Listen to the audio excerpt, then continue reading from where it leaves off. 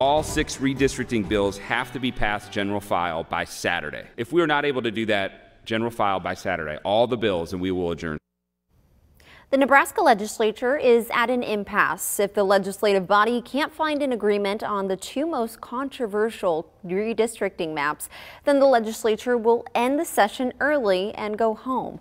3 News Now reporter John Kipper joins us live in the newsroom to explain what that could mean. Yeah, Vanessa, those two maps in question are the congressional and legislative maps. And if they don't pass those maps until next year, Secretary of State Bob Evnen told me over the phone that the May primary election would have to be delayed.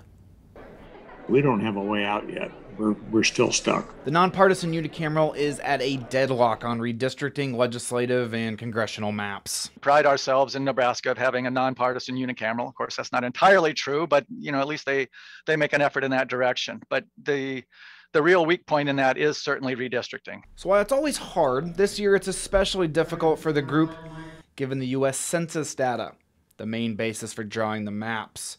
The pandemic pushed the timetable back, a process that usually takes months forced into a two week special session. So it's a lot of work that has to happen over a very short timeline. Josie Schafer is director for UNO's Center for Public Affairs. She says the reason the unicameral needs to pass new maps quickly is because they're not the only ones that need a redistrict before 2022.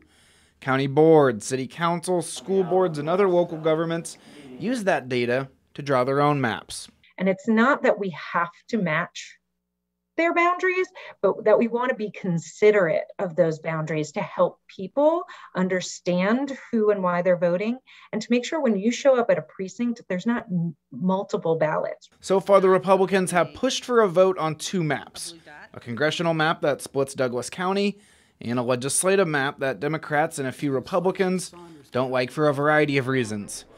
Democrats successfully filibustered both, leading Hilgers to his statement Tuesday. Yeah, I'm sure part of his motivation is to try to put a little bit more pressure on and say, look, here's the alternative, and the alternative is not very good, so please get to a solution now. Former Mayor and Congressman Hal Daub urges the unicameral, specifically Democrats, to come to the table and compromise. I honestly think we'll get a compromise. He suggests that if maps aren't passed, a lawsuit could potentially come from a candidate who cannot file because they don't know what district they're in. Could go to federal court to ask the court to draw the lines, and that may be some of what's in the minds of some of the folks in the Omaha Douglas County area. Secretary of State Bob Evnen told me over the phone that he would encourage the legislature in the strongest possible terms to complete their work this week because he doesn't want to have to postpone the primary.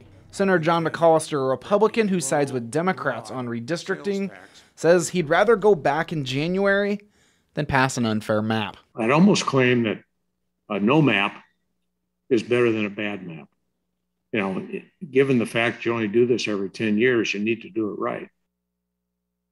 And McCollister has pushed for a redistricting commission like Iowa uses in the past. That's in which a nonpartisan body draws the maps themselves.